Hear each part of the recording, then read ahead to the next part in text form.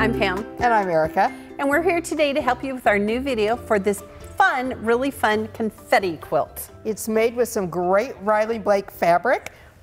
Like our sample, it was using fat quarters, but you could use this as a great way to use up some scraps if you might have any laying around the house. I don't know, some quilters have a stash, I heard. Some just of us saying, do. Just saying. Also, um, we're going to show you how to use parallelograms, and not since ninth grade math have you had to worry about par parallelograms. And happily, that means we've done the math part for you. Right. So we're using the 12 inch Qube for this, and it's going to be die number seven and five. But because we number all our Qubes the same, Right. you could actually do the same thing with a different size Qube. You would just end up with a different size project. Great. So if you own the six, eight, or nine inch Qube, you can do this pattern as well. All right, so we are going to cut both the parallelograms and the coordinating half square triangles. Okay. Now we're going to use the Go Big today. We could actually use a Go Cutter as well, but because we're working with a 12 inch Qube, we would not be able to use the Go Baby because our parallelogram die would be too big for that. Right. Now a parallelogram is what we call a directional shape, right It Pam? is. It is. So keep in mind, quilters, when you're using this shape that you read the instructions all the way through because Erica is going to lay it. She's going to smart stack it in a specific manner. The directions are going to tell you to lay them with right sides up. And so I very carefully stack those so that we've got some right sides up. I've only got three layers, but of course I could go up to six. Right? I'm going to put my mat on top and send this one through. Now, because we've got the mat on there, remember you can use both sides of your mat Correct. and move it around a little bit from side to side. Spread out those cuts and prolong the life of your mat.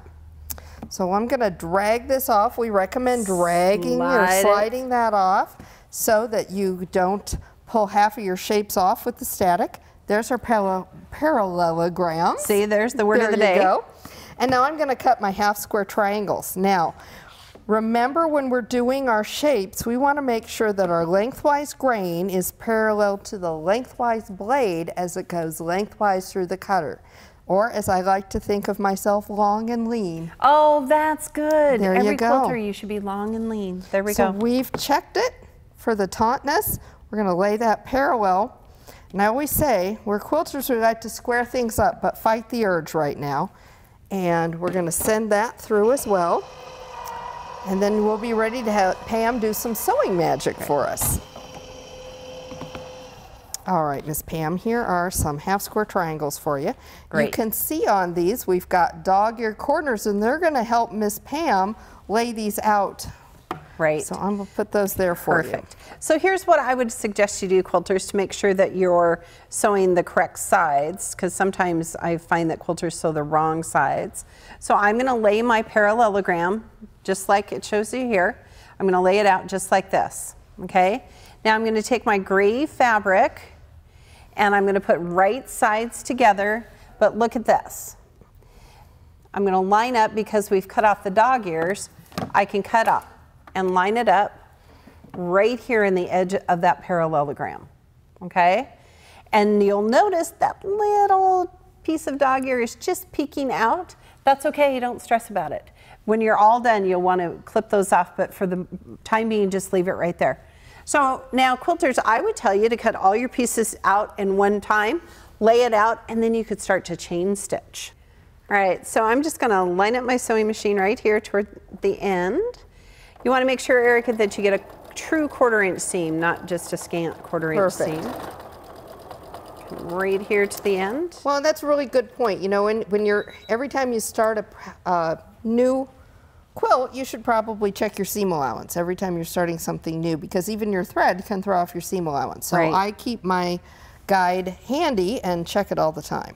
So I just did a little press there, and now I'm gonna press it towards that half square triangle. Perfect. Okay, and so see, look, we're all ready. Now, you'll notice right here in the ends, quilters, see that little dog ear that's sticking out? Don't stress about it. When you're all done, you can cut them off. And then we would just add the other half square triangle to the other side and continue on with the pattern. So now quilters, all you need to do is add that other half square triangle here to our parallelogram, and you've made this section here.